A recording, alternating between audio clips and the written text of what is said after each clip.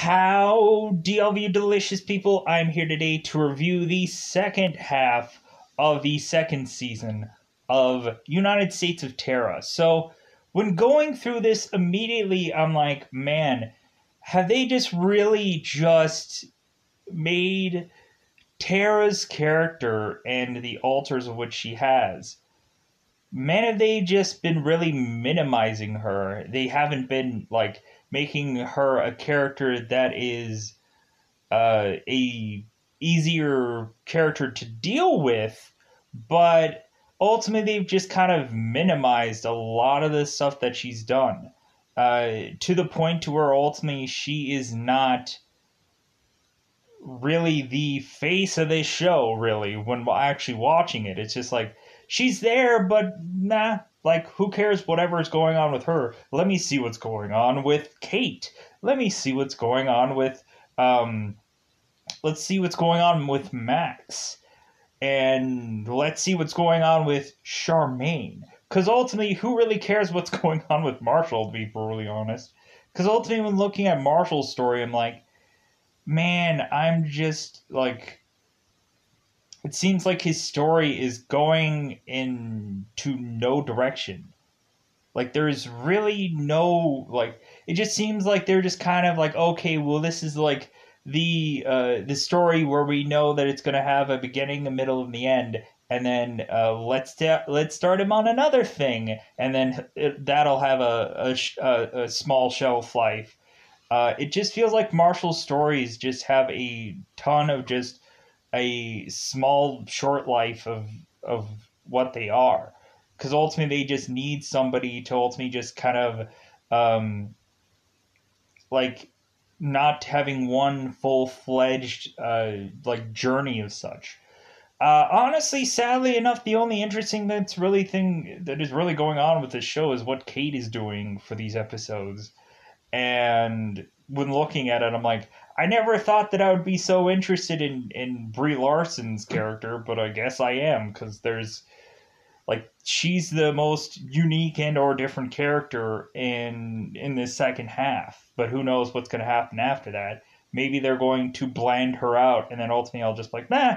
Because ultimately she's been bland for the longest time. A lot of the stuff that ultimately she was doing, I'm like, God, she's the most like like blah blah blah. I'm so bored character watching her. Like everyone else was was so much more interesting than her.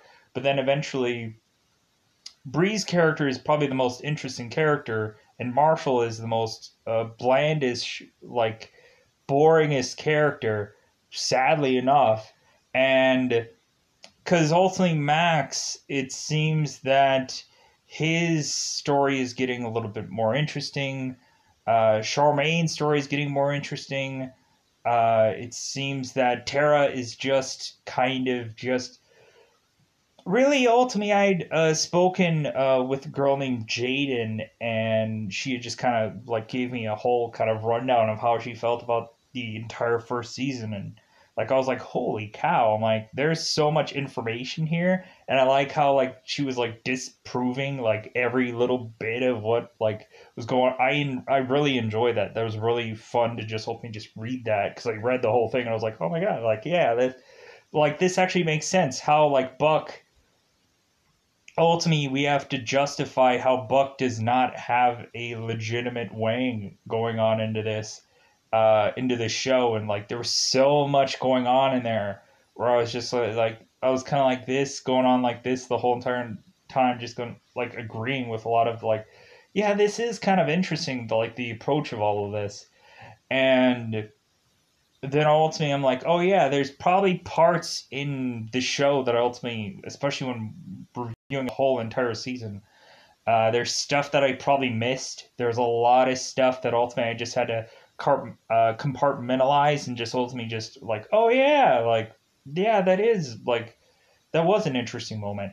Um, I think it's interesting how like they keep kind of going back to things and stuff that doesn't actually make sense. They're gonna just keep going back to it, or ultimately they're just gonna all of a sudden have uh, characters that are all of a sudden just not as co coherent as they once were before. Like we have it to where like Tara's father is just like a mess bizarrely and I just don't quite understand how all of a sudden now he is just a mess of a father and I'm like okay that makes no sense.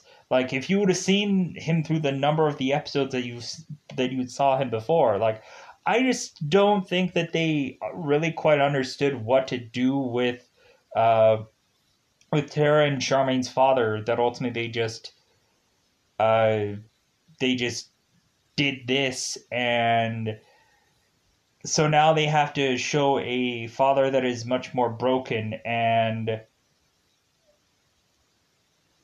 and also has like a mystery to ultimately tie himself on to like well tara has to solve yet another mystery. Like so is that what tara is gonna do now? She's just a mystery solver? She's a uh, like uh, she just has to be a person that has to get like uh, what she has to like solve her entire past, and that's who she's going to be now. She's either Nancy Drew or she's going to be some comedian that has to tell some joke using her uh, disorder. Um, because that seems what uh, really Tara is now.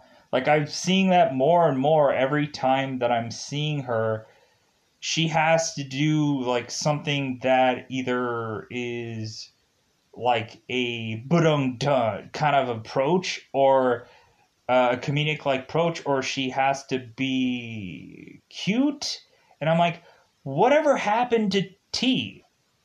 Whatever happened to uh like it kind of seemed like any character that seemed seductive or whatever in the first season now they like took that all out for Tara, and now Kate has to be a more seductive woman, and we have it to where.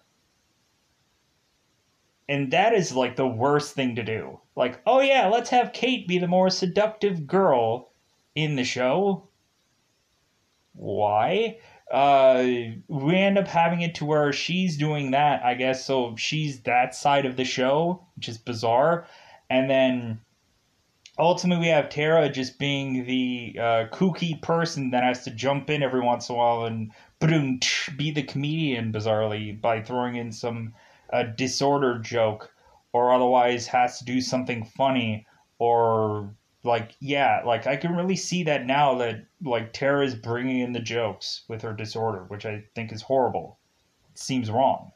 Um like but especially i could see that now where i couldn't see that before. Um like but especially through this wrong now that now she's just kind of uh she does less. She's involved in things less. Uh if anything like I don't think that I've ever really actually seen Tara like like there's sometimes here and there where ultimately she'll talk to her kids, but like I don't really actually see her really and truly being a mother whatsoever. Like like I don't feel that Tara is a mother on this show. Like she's just a person that has to live with these other people.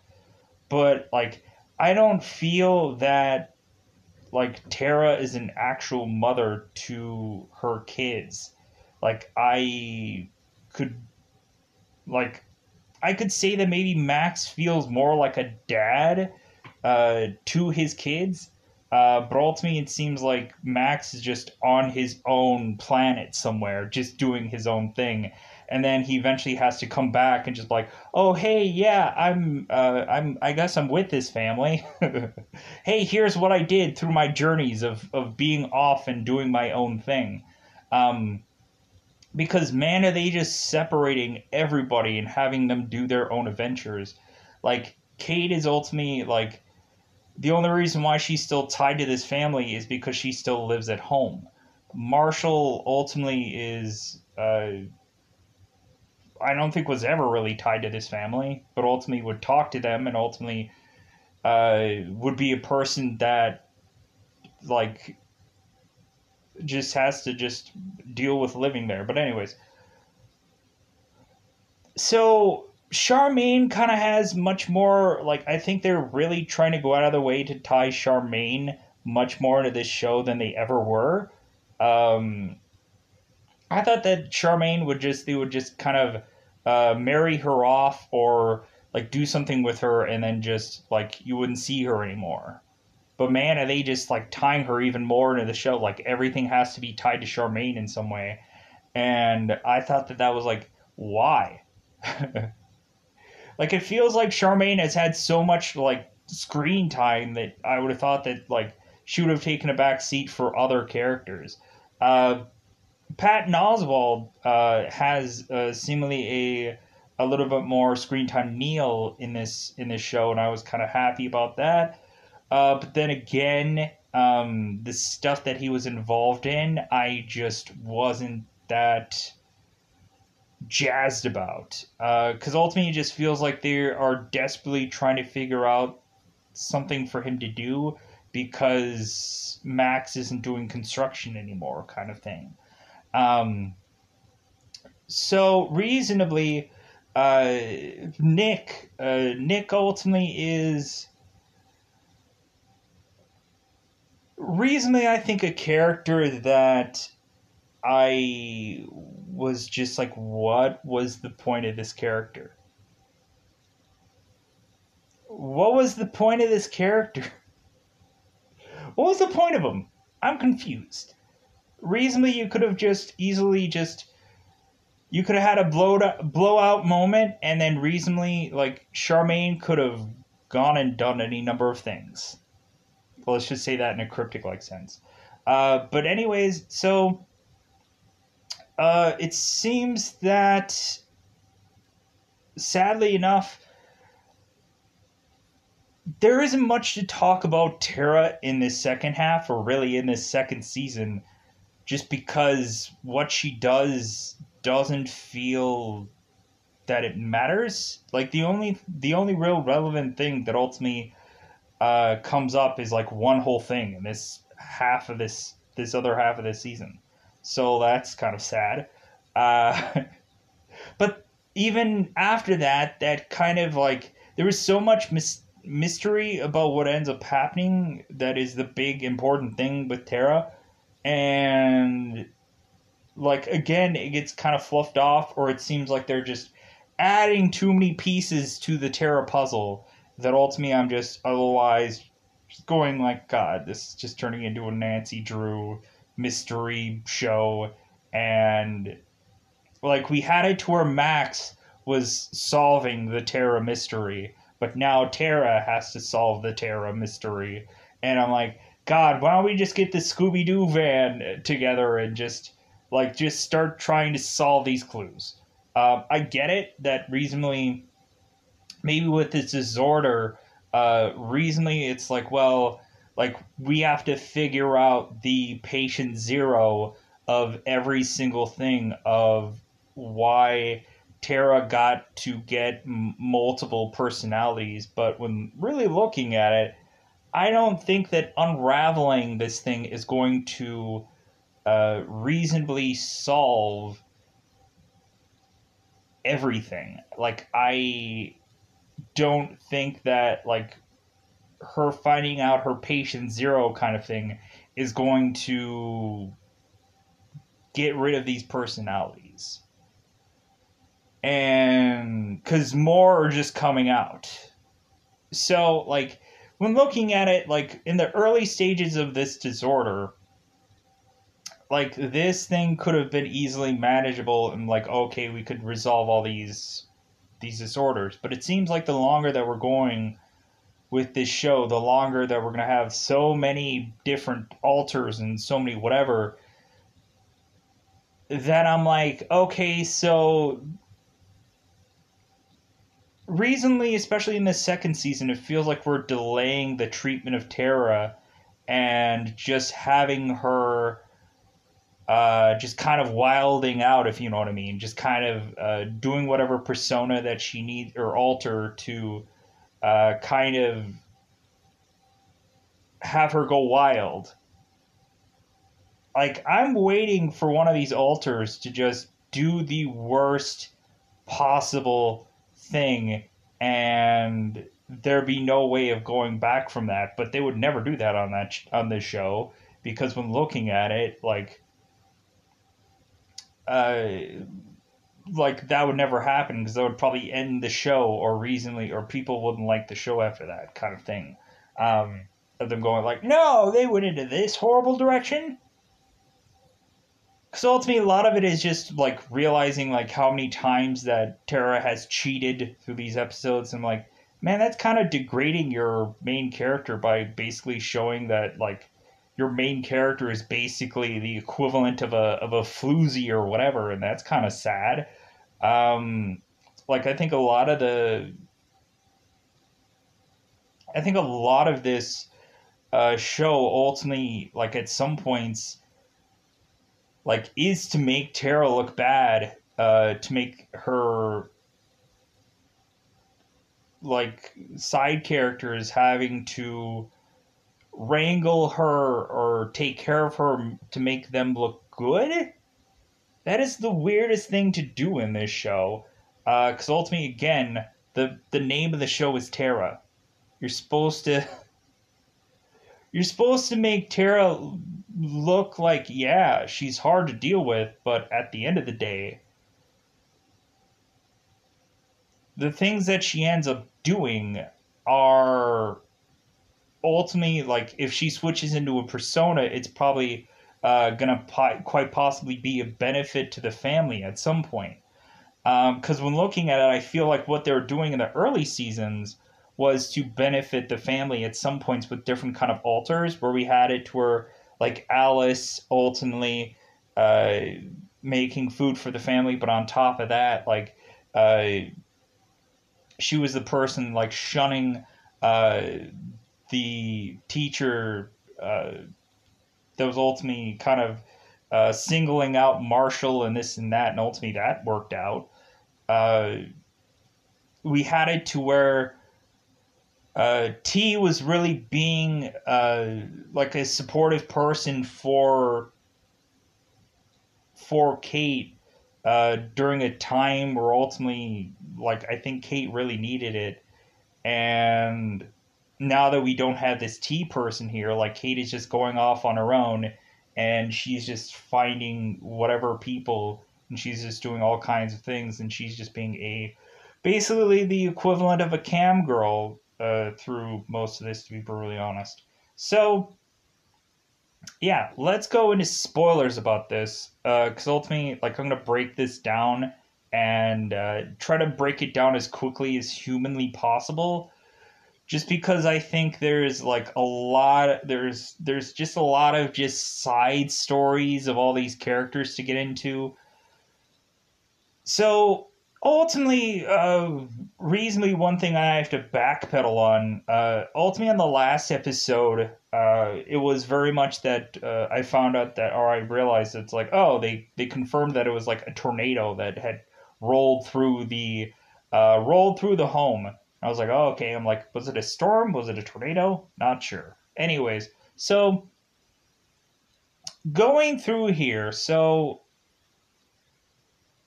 we have, I'm kind of confused where exactly to start first. So,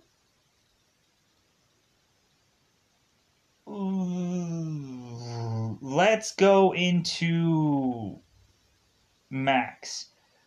Or, no, wait, let's go through, I think Kate will probably be easier. So we have it seemingly where Kate ends up going and doing YouTube videos. Uh, she ends up doing YouTube videos with the whole like princess attire and whatever. And I was just like, okay, so where are they gonna go with that? Uh, they end up going with her ending up uh, becoming a personality, I guess, uh, to where she wanted to become adult, but instead became a costume. So we have it to where Kate is to ultimately go into going and evidently being paid for just to talk to guys. But then eventually we end up finding out that Kate ends up doing activities for men, which I thought was uh, I thought was interesting just because it was different. Uh, how rarely do we ever see a movie and or show that does that? Like, yeah, there's stuff like that out there. There's ultimately the movie Cam, uh, but ultimately that's not exactly a things that go into bizarre activities that ultimately Brie goes into. Uh, so we have a tour Brie ultimately is to bizarrely make a cake and then bizarrely sit on it for some guy. Uh, we ultimately have it to where Brie is ultimately going, or Kate is ultimately going and sitting on balloons for some guy. Uh, to where they pop, of course. Uh, we end up having it to where Brie consistently does these activities to have these guys ultimately uh, beef jerk it, if that's ultimately what they do. So we have it to where Kate, I guess, is the more like seductive character because she's kind of wearing uh, just like corset and bra and and kind of like doing all these kind of activities that I guess could be concerned or concerned considered um, seductive, I guess. Weirdly bizarre. Anyways, so we have well, like whatever your whatever fits your fiddle, uh, whatever you want to do. Uh, if you found that seductive, and okay, all right. So we end up having it to where Kate ends up finding some uh, sugar daddy, I guess, from usual terms of of internet people that end up getting the ability to find a guy that is otherwise rich. I kind of seen like documentaries about women that ends up doing uh, these like kind of uh, lady of the night activities, and then eventually they end up finding a guy that is rich. Uh, that ultimately they call them their sugar daddy and pays for them with all kinds of things. So like I've kind of seen this in a much more like uh, adult like way rather than what Kate is doing. And so ultimately I'm like, oh okay, so she found her sugar daddy, and basically uh, this guy is telling her like, oh yeah, we can afford all these lavish uh, penthouse suites and all these kinds of things.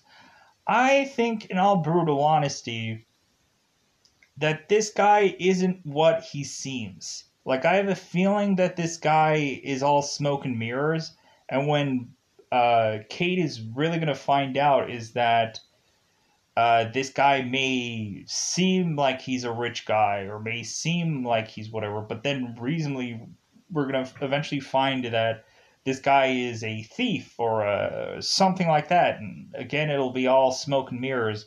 And this guy wasn't a rich guy. He just made it look like he was is what I would naturally assume that eventually this guy is going to head into being because why would life all of a sudden work out for Kate so well? Or I'm assuming that this is going to end up being some bizarrish Fifty Shades of Grey situation at some weird point, at some weird turn. So, uh, so ultimately, that's kind of like the whole story arc, really, of just Kate through these episodes. So, uh, let's go into Marshall. So we have it to where Marshall is, of course, uh, re coming out, and ultimately we have it to where he is to have his girlfriend give him a liar box, which ultimately the liar box makes no sense. I think that she just really wanted to vent that ultimately, like, she's kind of upset that their relationship didn't work out but it was never really, I don't think, meant to really work out. I think it was just like, yeah, it was a good thing that ultimately Marshall did this, but when looking at it, like, I guess he was like confirming uh, that he was ultimately being gay and this and that. So we end up having it to where uh, we have. Uh, Marshall's girl or Marshall's girlfriend delivering him a box, a liar box, of basically stuff that doesn't exactly make any sense for him being a liar, but reasonably, like, she just kept all that stuff of him, and I think that she just really wanted to throw that back in his face. And I thought that that was kind of just a silly uh, thing to do. Uh, just to kind of like, I think they just kind of have to do that when a relationship doesn't work out. They have to have like moments that ultimately give this relationship a much more backstory but really, we just have this liar box ending up turning into some kind of artistic piece that ultimately uh, Tara ends up doing and going with. So, uh, so reasonably, we have it to where Marshall goes and ends up going uh, with the blonde haired guy that ultimately he had first uh, gone into lunch with, which ultimately I don't know the guy's actual name. Uh, anyways, um, I'm trying to think what it is. Anyways, uh, yeah, it's not coming. Anyways, so his boyfriend, Marshall's boyfriend, because ultimately we cement this relationship. Really, we have it to where this, uh, to where this blonde ambitioned guy is otherwise kind of pushing Marshall into some, into some dark paths, some dark situations. Ultimately, we have it to where uh, I think that this uh, boyfriend of Marshall's is going to have like a lot of uh, problems, and I think like because reasonably it seems like this guy is very shady, anyways. Like ultimately, how he had gone into a park with seemingly an older man uh, to ultimately unzip uh, their pants uh, to ultimately get a little bit of uh, BJ action going on we ultimately have it to where Marshall is kind of innocent in all this, and we have it to where reasonably uh, that is to retie us uh, with Ted's character. Ted ultimately is to go into here and kind of, I guess, usher bizarrely Marshall in uh, to.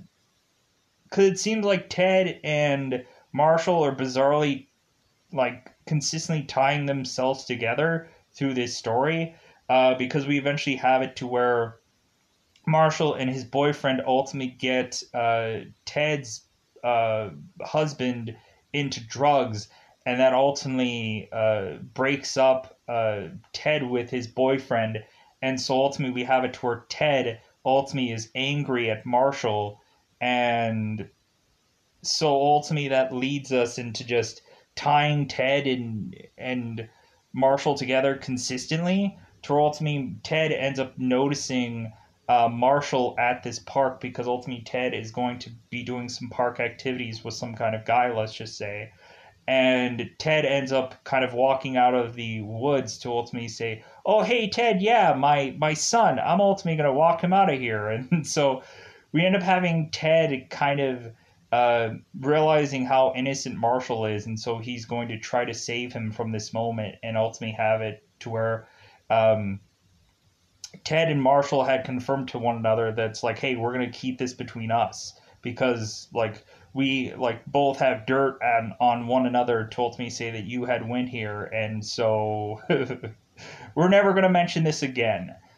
So reasonably we have it to where Marshall and his boyfriend end up uh, confirming with a kiss because uh, ultimately we have it to where Marshall and his boyfriend end up uh, like his boyfriend ends up mentioning like all the stuff that uh, the older man and him done and did, and but then eventually lends up lends or ends up having Marshall ends up kissing this boyfriend and ultimately cementing this relationship. I'm like, like I just feel that this relationship is just gonna go horribly awry, and I think that eventually Marshall is just gonna end up finding someone else or I just think that Marshall is just going to consistently end up just like his stories are just going to be short lived consistently. Uh, I just don't think that they know where to go with him, and I think that's really just going to consistently keep happening. They don't know what to do with him. And so they're ultimately just going to end up having everything just a short lived thing, and that's what's going to happen. Honestly. So, moving on. So, we ultimately have Charmaine, who ultimately is uh, seemingly having a lot of things going on in here. We ultimately have it to be revealed the secret that ultimately Neil is ultimately Charmaine's baby daddy. And so ultimately we have it to where uh, Charmaine ultimately is with Nick, and Nick knows that Nick is not the father of this child. So we end up having it to where Charmaine is ultimately just in desperation to have Nick keep this baby, knowing full well it's not his. And also, uh, Neil ultimately has to basically just sign away his parental rights, even though reasonably he wants to be a part of the baby's life. That doesn't matter. And because ultimately, Charmaine just wants to be with Nick, and Nick is ultimately fine with having a baby, what we are led to believe. And so ultimately, we assume that everything is going to go perfectly fine with, but within time, really looking at it, uh, we have it to where Nick ultimately by the time of wedding day, we have it to where Nick is all of a sudden just like you could see he's like sweating, and you could just tell like he's he's just like like he's having cold feet. You could kind of tell when eventually uh, Tara is chicken, and we'll ultimately get to that. Uh, that you can just tell that that Nick is just looking at Charmaine as just like like God, I just want to pull the ripcord on this whole family. like I guess it took Nick really in being involved with this entire family and just to see how uh, because uh, I think really like I think Nick could really sense that like Charmaine was like clinging on to Nick out of real and true desperation. Like it wasn't the fact that she that she really did uh, love him. It was just the fact that it's like, well, I love the uh, idea of him rather than so the actual guy him guy himself. I think really, if you would have like if like to see between these two characters really and closely, I don't feel that we could ever cement that they were good for one another. To be brutally honest, but anyways, so we eventually have it to where uh, Nick and Charmaine ultimately end up uh, go to the wedding and basically just like nope like nick ends up uh, as the ceremony is going on we end up having nick just going like yeah you know what? Like i am just done with this whole family thing. If anything the baby isn't even mine so ultimately you know what? I'm out of here. I'm i'm blitzville. We end up having it to where nick ends up seeing tara end up having to be an altar and i think immediately he's just like dude i am piecing out. I think all these people are loons. I'm gonna get out of here. So we have it to her eventually that neil ultimately is kind of charmaine's rebound and i think reasonably that is the worst thing we have it to where like reasonably Neil is ultimately going to sign away his parental uh his parental rights and then he's going off to like some uh oil mining rig somewhere in the middle of nowhere. And but then eventually uh, we find out that uh, that Charmaine's wedding had went sideways and so Neil is right then and there ultimately going and trying to pick up the pieces right off of the wedding, and ultimately just cement him and uh, Charmaine are going to be a couple.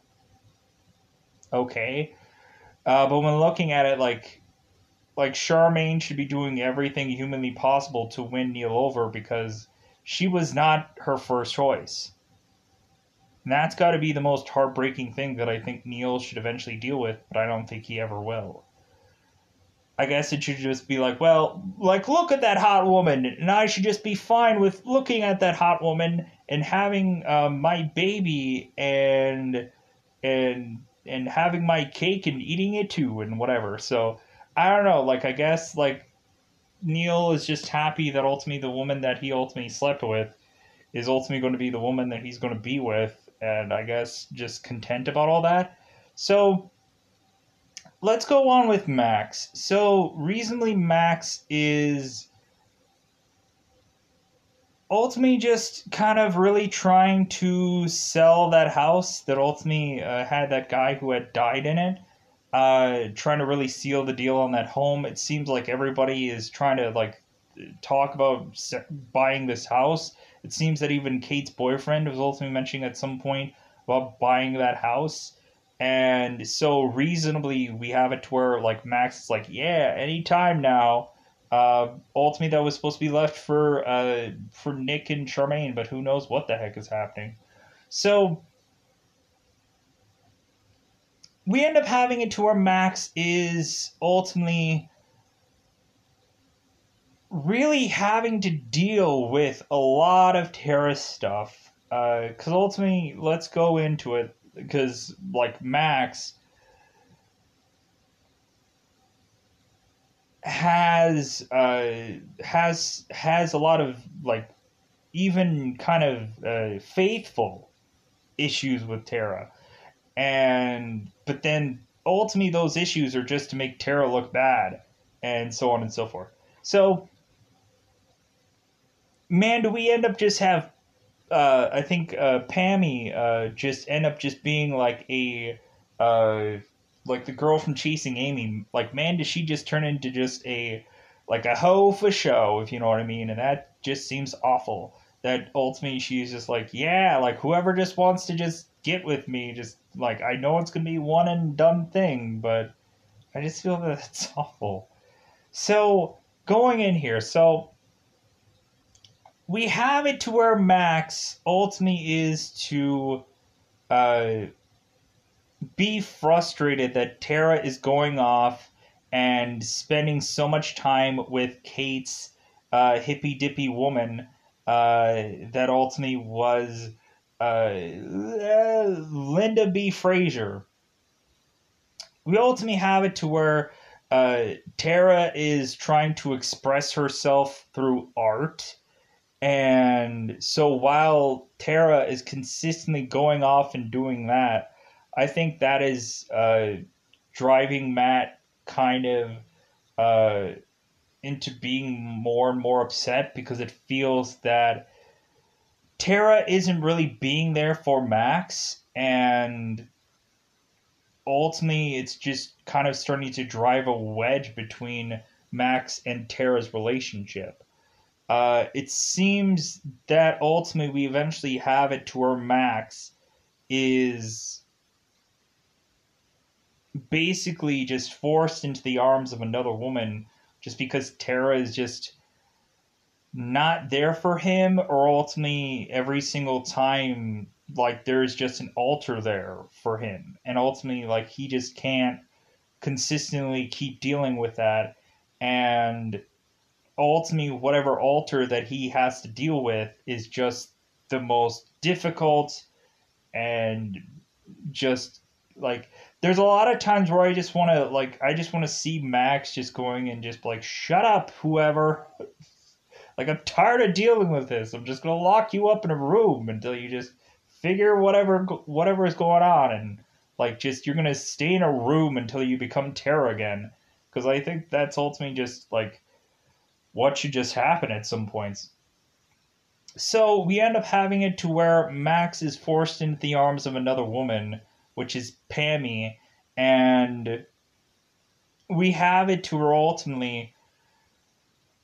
That leads Max to confess to uh, the altar therapist, which uh, I want to say it's uh, Shira or Sh- Shira.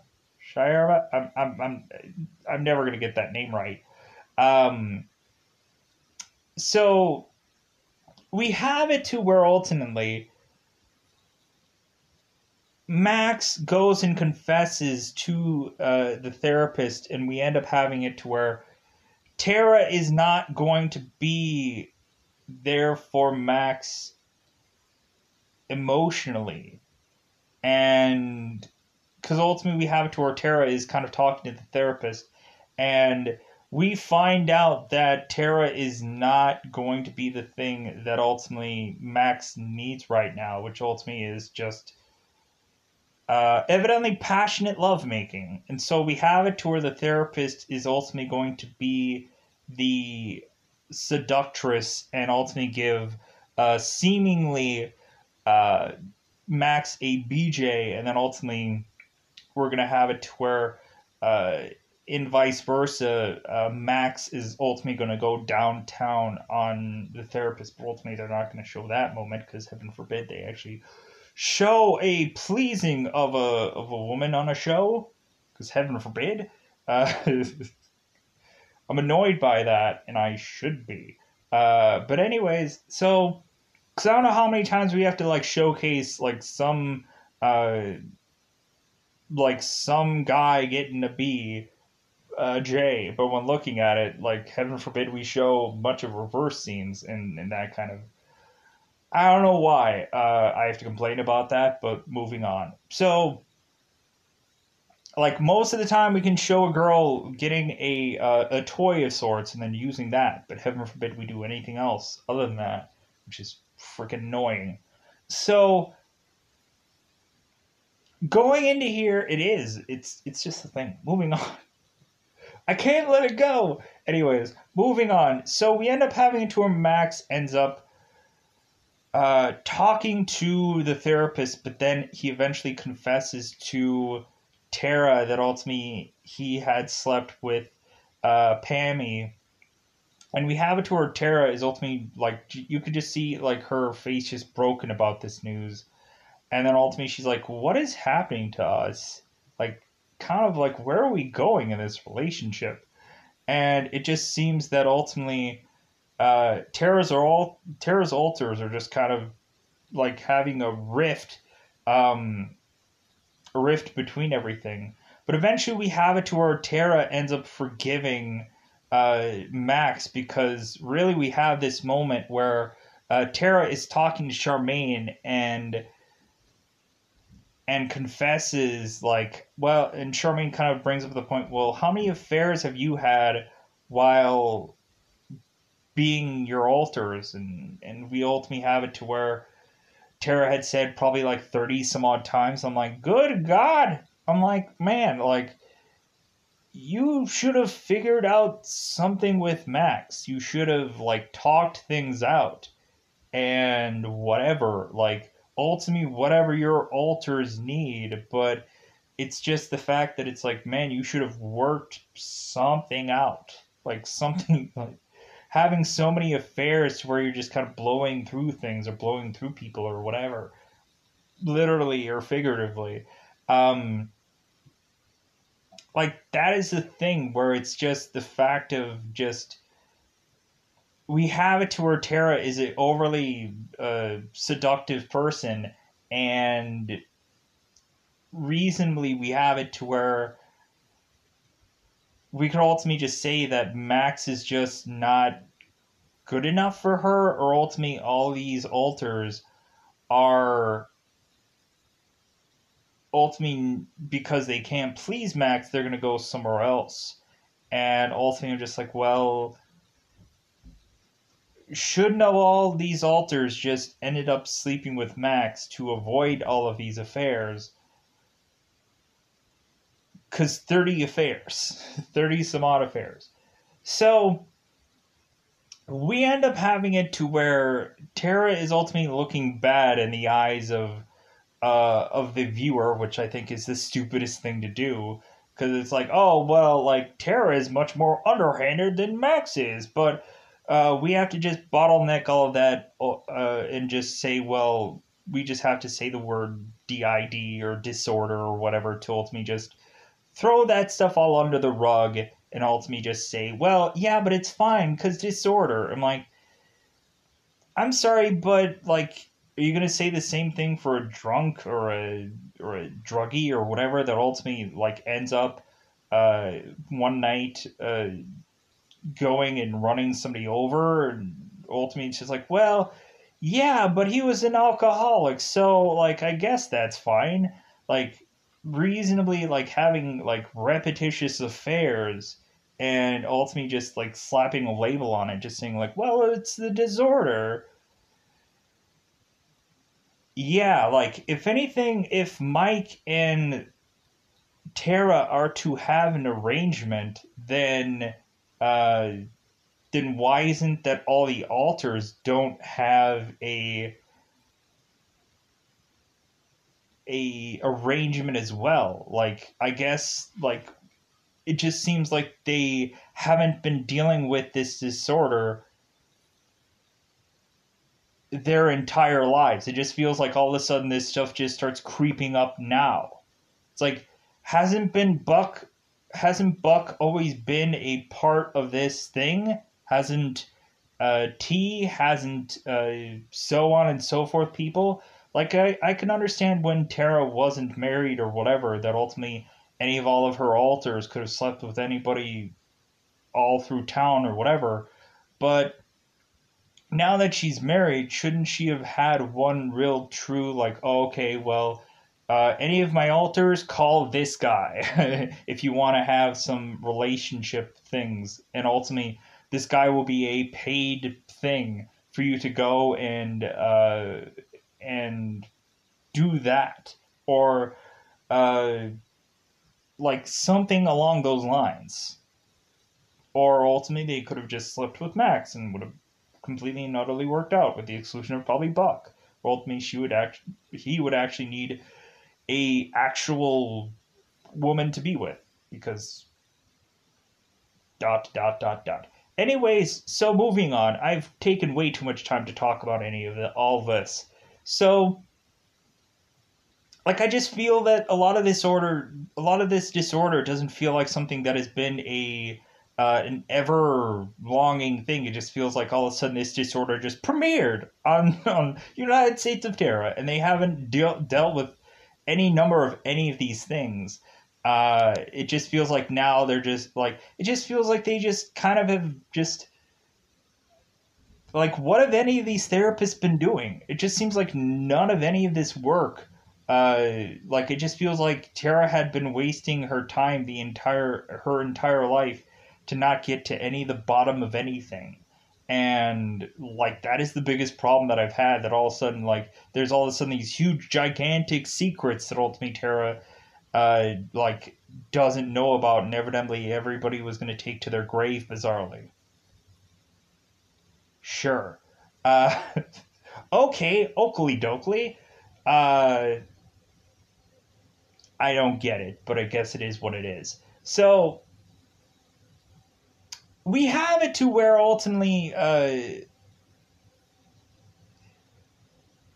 so like Max had an had his affair, and ultimately it seems that Tara is ultimately going and seemingly after her artistic like venture.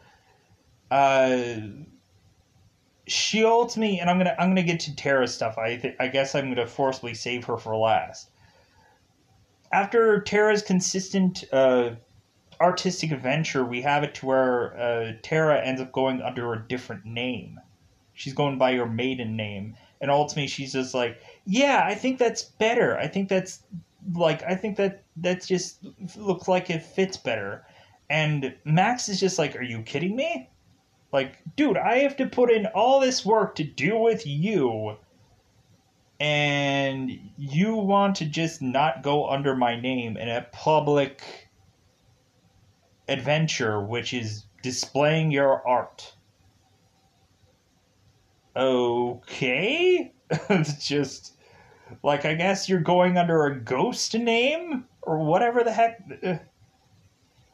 We ultimately have it to where Max is is adamant that ultimately Tara is going and having another alter under her maiden name, and this artistic side to Tara is a alter ultimately Tara is ultimately telling Max is like, no, I think this this is me. Like I think I'm fine. Like I think like I'm just trying new things and I'm just ultimately experimenting and like this is like we have it to where Tara I think is seemingly at points better, but then when looking at it, eh, not quite. Uh, because we have to where she like consistently, I think she shifts into other personas even much more so than I think before. Uh, so we end up having it to where Tara could be uh, Alice at one point, then eventually she turns into Animal Alter and uh, goes and uh, breaks things and, and runs through places and maybe pees a little. I don't know. Because uh, ultimately, that's that's this silly thing uh, about this show is we have to have uh, Tara being a, a comedic thing. Uh, so reasonably, so Max ends up uh, at the end of the day uh, after this wedding. Um, Max is kind of cementing that they should get married again, and ultimately maybe that'll be a thing that they end up doing. I hope just have them just remarry again, um, because ultimately that'll just be a nice gesture and whatever. It'll just be like renewing their vows, but whatever. When looking at it, it'll just be like re-cementing that they're gonna be forever together or whatever. Because I'm assuming at some point they're almost close to getting divorced, so why not just get remarried? Um, but anyways, so we end up having it to where now we have to go into the Tara journey. So in this portion of story, Tara is kind of mo- the most irrelevant character with the exclusion of one little thing. So we ultimately have it to where Tara through here is ultimately to mostly be uh, just normal Tara or uh, ultimately just kind of be whatever she needs for the story, because uh, she's the most kind of irrelevant character, to be brutally honest. So we have to where Tara is to eventually switch uh, between uh, between ultimately being Tara and then ultimately uh, when we have uh, Marshall who is uh, getting his liar box, and then ultimately. Uh, all right. Yeah, kind of love it when you ultimately are just doing a thing and then ultimately just. And then it stops. That's always great. Uh, so recently, I just had to kind of like back to where I was. I watched the. Uh, luckily, I had the other video back where I can see where I was so ultimately now I'm gonna like kind of start where I left off and kind of move into uh, finishing up this review.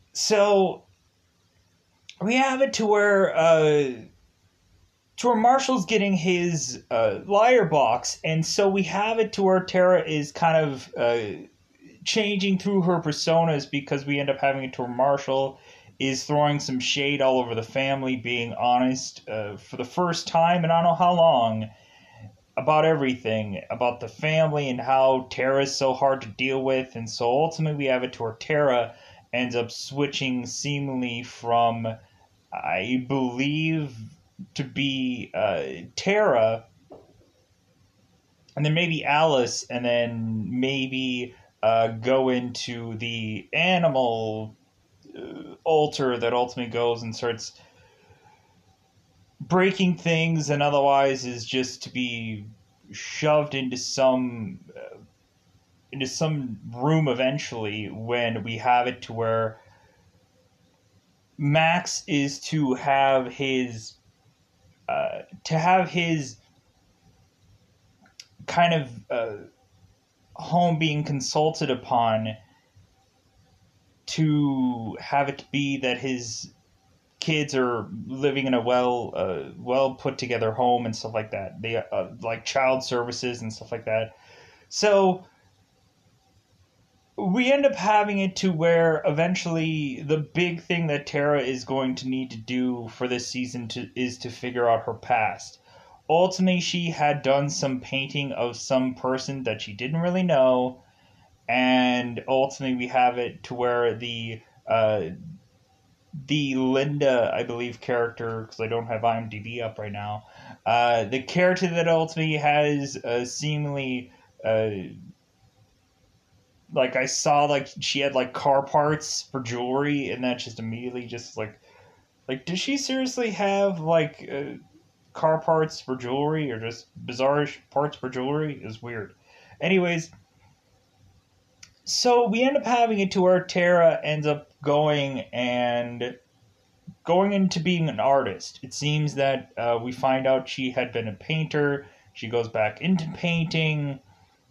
And then eventually she ends up taking the liar box that ultimately Marshall had, and ultimately she makes it into some house that ultimately has some bizarrish maze that is inside of it that is done by some uh, motorized toy of sorts and this and that, whatever, what have you. So we end up having it going into the fact that Tara needs to go in and ultimately need to have a mystery to be solved. We ultimately have it to where when Max confesses that ultimately he had cheated on Tara.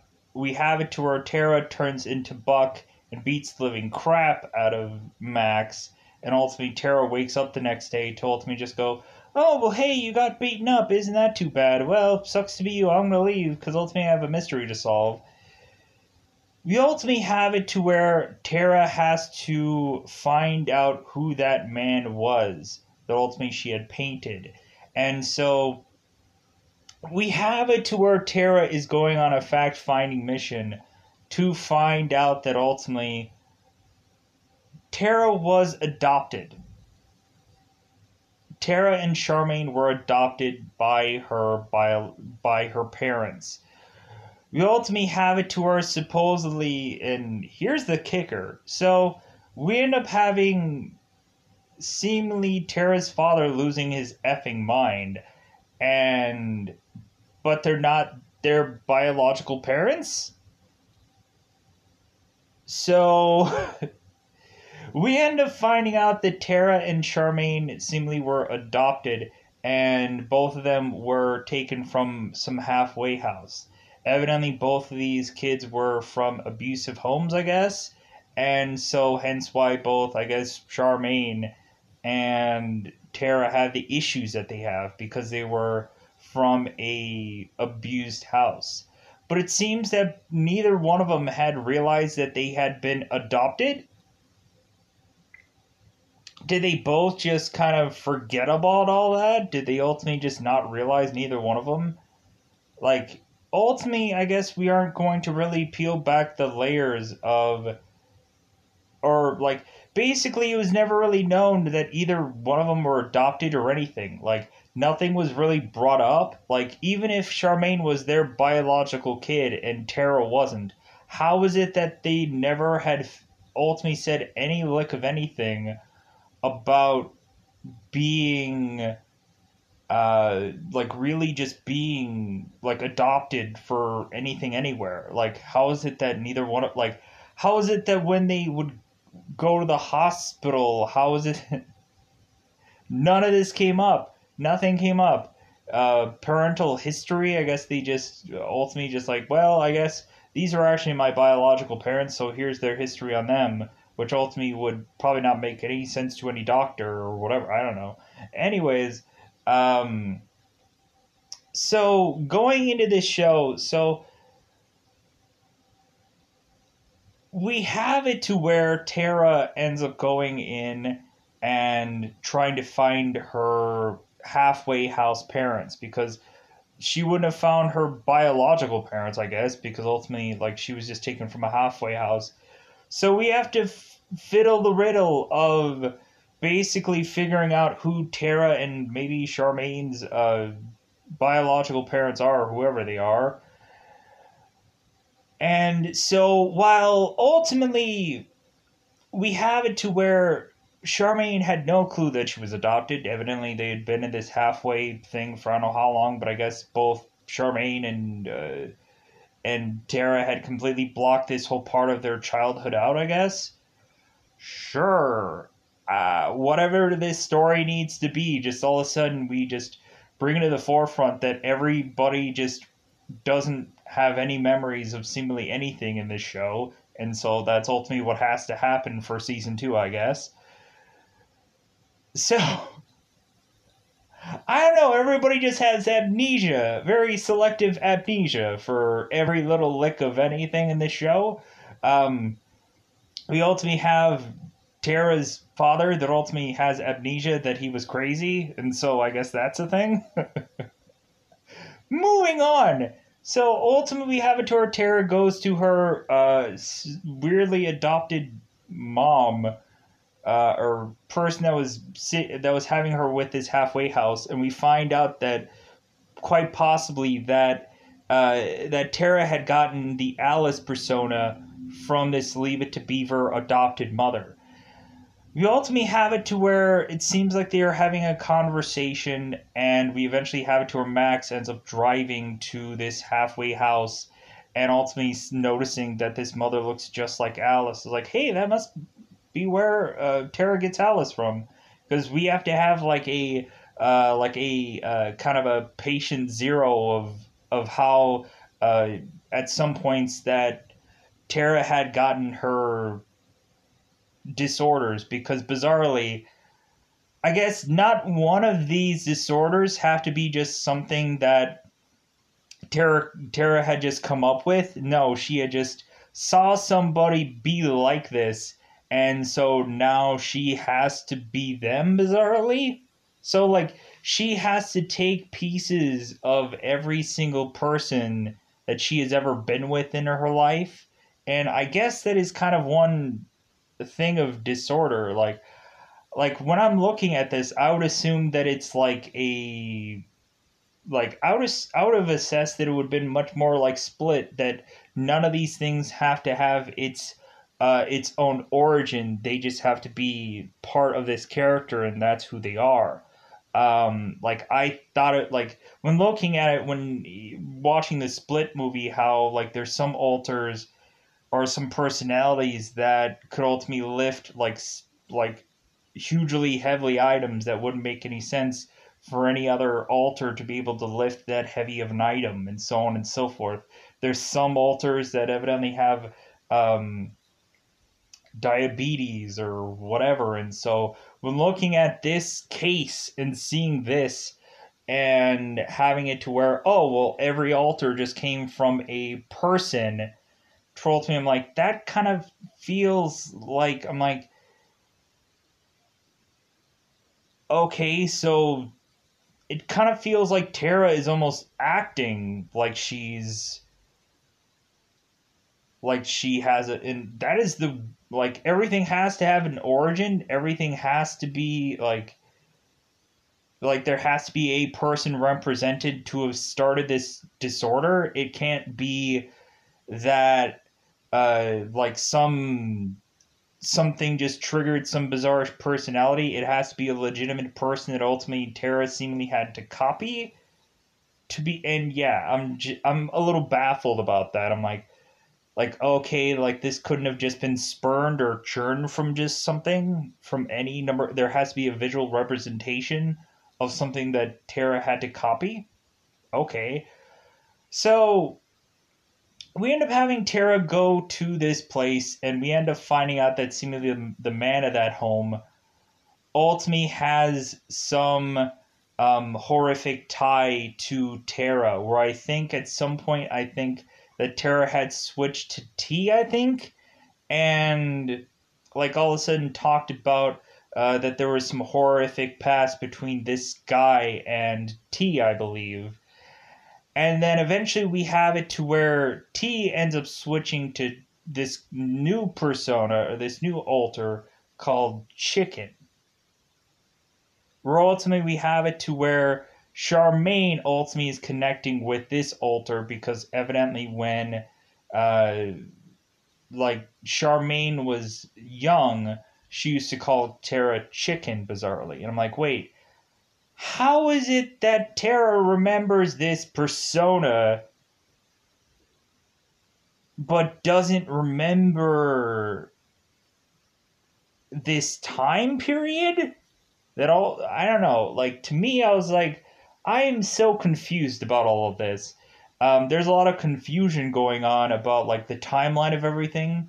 Was Tara just always known as Chicken during that during any time period, even after they had been gone from this home. I don't know, but we just have Tara, who is now a little kid, and ultimately, uh, we have it to where like to where I'm just so like utterly in confusion, but I'm I'm just going along with this. So we end up having it to where Max is ultimately putting Chicken uh, into uh, really very much into this uh into this car and ultimately they're driving off. Well, Max is driving off on his motorcycle. Charmaine is ultimately going off in her car. And I'm like, okay, so why is it that all of a sudden we have one specific moment that trigger re-triggers this alter and then now we have this alter be overwhelmingly like used? Like i'm just like you know what? Like this disorder is like being very convenient to the story. Like it's like whatever the story needs the alters deliver kind of thing. And like i don't feel like that's right. Like i think that ultimately like like if it were a wedding then all of a sudden you would just bizarrely just get buck or you would just bizarrely just get alice or you would just bizarrely get uh like it kind of feels like the this disorder doesn't feel random. It feels that ultimately like we're playing too much into one persona and because it's the new persona it's like if we if if we had it to where and, and I don't know if this is like just the like well you just need something to trigger this disorder or whatever is to go on like like there's triggers for certain things that I'm sure ultimately if you have it to where there's certain personas that might be triggered by seeing a picture of something or by uh, any number of things I'm sure will trigger a, a persona to just come out of nowhere and then uh, other people just have to forcibly deal with it. Uh, like I'm kind of waiting for there to be more of a mixed bag of personas than reasonably it being like, oh, this was Tara in 1995, and oh, this was Tara uh, being a painter, and oh, this is uh, this is uh, Alice who is a baker, and whatever. Like, it just kind of feels that everything is otherwise tied to everything of Tara's past, and there's not like an old man persona that all all of a sudden Tara is doing uh, that has to do with nothing. It's ultimately maybe just dealing with all these other personas is ultimately just spurning another persona. I don't know. Um, like you would have thought when Tara was like really breaking down, ultimately mentioning that like, like I thought it was better. Like I thought that that would have made her like go all kinds of like and have a, have us have all kinds of different personas but ultimately like no like we're just having it to where uh, when Tara becomes angry then Tara becomes whatever persona probably Buck or whatever. Anyways uh, I'm getting way too much into this and then ultimately I'm kind of like I, I want to get get this done. Um, so I'm kind of in I'm kind of into depthly going through things. So we end up having it to where uh, to where wedding time, and so ultimately we have Tara, who is still chicken, ultimately being a child, and everyone is just trying to deal with her. Ultimately, uh, at some point, she is going and eating a dinner, and she realizes that she's. Uh, chicken is turning into Tara, and she realizes, oh my god, I'm wearing some crown? What is going on? I'm eating a kid's meal, and blah, blah, blah, blah, blah.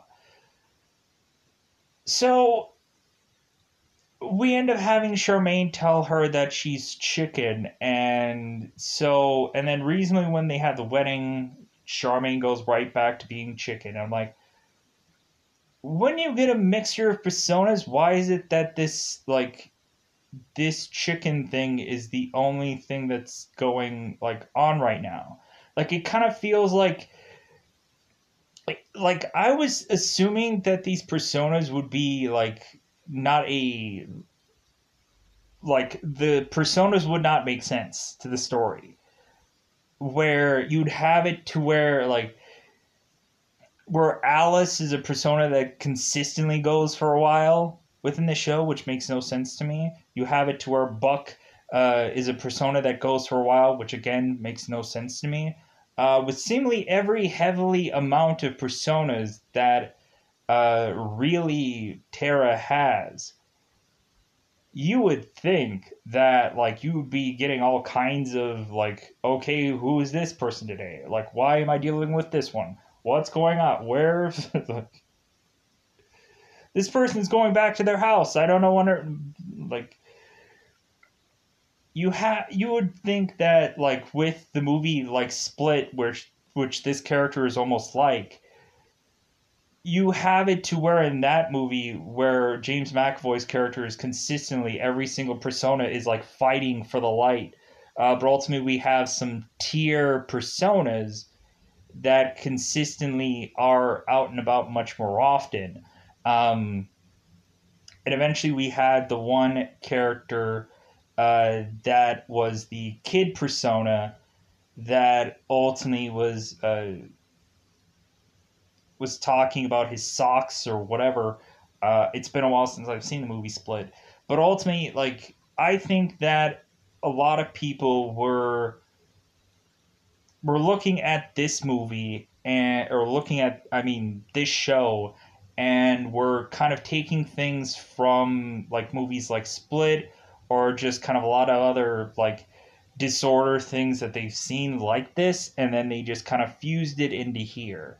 And so reasonably i don't think that a lot of this stuff was really well thought out or there was really much of a real and true like effort into like diving in deep for the whole therapy part because it's obvious that uh, people nobody knew what they're doing for that aspect. It kind of feels like they're they didn't know how to write the treatment parts. It didn't feel like they knew how to like give Tara any answers, and it feels like now they're trying to write out the whole therapy part whatsoever and just have Tara have some mystery to solve uh, with the whole adopted thing. And so we end up having it to where Tara's at the wedding, and she is now the kid persona yet again. And we end up having Nick having to deal with Tara as this chicken persona. And he's like, oh my god, it's like this girl is so like difficult to deal with with just this persona. And maybe Nick is seeing that Tara is hard to deal with, and he is imagining that he has a kid to deal with within X amount of months. So hence why he's getting cold feet and ultimately wanting to run out of the wedding. So, like, this whole chicken persona was to be written in, to be perfectly worked out during this time to give Nick the cold feet he needed to have him otherwise decide to jump out of this uh, wedding before it was to get started. And so ultimately, we have it to where Tara. uh, reasonably, that's kind of like the real tail end of what she really actually does throughout this season. And that's about it. Really, most of it is just her dealing with, uh, her dealing with the adoption thing, her dealing with her father that bizarrely is so odd and off-putting in the in the in the wedding because ultimately we have it to where Tara is talking about her, talking to her father and her father is very like like is he drunk? A lot of the stuff isn't making any sense. Uh, we ultimately have it to where uh, Tara's father is talking about a brother that she quite possibly has, but there's a lot of stuff that is very unsure about all that because her father is bat crap crazy, I think, at this point. Or ultimately just like, I don't know, is he drunk? I don't know. Like, I don't know what he's like. Cause it's it seems kind of weird that ultimately in the beginning we have it to where Tara's parents were ultimately going to take the kids, but we easily and quickly find out that Tara's parents aren't fit to take Kate and uh, take Kate and uh, Marshall within this wedding time, and I'm like, So I'm like, wait a minute. So we would have ultimately had it to where, like, yeah, take the kids, but the dad's crazy, so don't take the kids. Like, I get, I don't know, like, reasonably, I just didn't quite understand the father part, and that just burned a hole into my skull of just going, like, okay, I don't understand. That is the crappy writing that goes on with the show, where it's like all of a sudden it's just like, okay, a character that you saw before, like we didn't know what to do with him. Uh, now I think that we know what to do with him, but he's gonna look so way different than he was the first time around that you saw him. That ultimately you're probably gonna be put off by that. I think kind of uh, Patton Oswalt's character Neil ultimately was that same kind of thing where in the in the early parts of this show they didn't know what to really do with Neil and so when they finally do know what to do with Neil, it's off putting because what they are doing uh, isn't something that I want for his character to do, as well as reasonably Tara's father and like kind of any number of people. We have it to eventually, like, Tara's mom ends up going and seeking out uh, Charmaine because Charmaine desperately calls her in desperation to get her to come there, and then eventually we have it to where Tara's mom it just is just to go there to have Tara as Alice um, kind of get in her face about things and ultimately to to have it to where Alice is lashing out at Tara's mother and we have it to where Tara's mother just eventually just just leaves. So I'm like, what was the point of having this mother here just to have this lash out so that way Tara can be a different persona towards her mother. But also, I guess, to just open up about the fact that adopted parents and not really being your real mother and so on and so forth. So, but anyways, yeah, so reasonably, yeah, there's just a lot of stuff that ultimately was just kind of unpacked, but none of it was really dealing with Tara for the second half of this season. It just kind of felt like Tara was a very elusive character that ultimately, like, a lot of her stuff didn't matter because when really looking at it, the only thing that mattered was Max having a affair, which ultimately, like, didn't really do deal much with her because ultimately, uh, she became Buck and beat the crap out of Max, and like a lot of it wasn't really dealing with Tara. A lot of it was dealing with everybody else There was so much time eaten up by everybody going on their journeys rather than Tara having her own, with the exclusion of the uh, the adopted family thing, which ultimately didn't really resolve anything. It just kind of left more holes. And now we're eventually going to probably take the rest of season. We're probably going to take season three to unlock more mysteries of Tara and then have this hunting for mysteries and clues and so on and so forth. So, with that, I am going to get out of here. Uh, so ultimately, uh, like, there's probably a lot of stuff that I ultimately did not go through and kind of pick through and whatever. But at the end of the day, I think that's all I wanted to say about this second season. We're going to go into the third, hopefully. Uh, all depending on the viewership and everything like that that kind of goes into these videos. Uh, but when also looking at it, it was just kind of intriguing to uh, kind of talk to uh, talk to people about uh, certain shows or whatever. Because ultimately, there's a lot of times when reasonably when going into these, it's just kind of like uh, maybe there's something that I missed, or maybe there's something that uh, when really looking at it that is inaccurate, or some things that I was just like I'm like like I am just so and utterly like there's there's some parts about this show that I think in the first season I really liked, but in this season I'm just like nah, like like I really liked the first season, but this season breakdown is ultimately just like man, it's there's a lot of convenience here. There's a lot of uh, like crappy writing that is going on in this season because ultimately they couldn't figure out what to do with somebody in the first.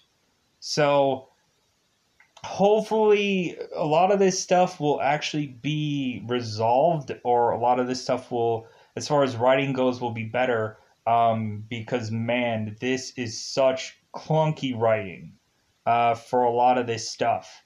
And how we have to continue to clunk our way through these uh, through these seasons through these episodes to just like forcibly have something for somebody to do kind of just feels like ugh, that kind of sucks. So I'm gonna get out of here. Goodbye, everybody. Goodbye, everybody.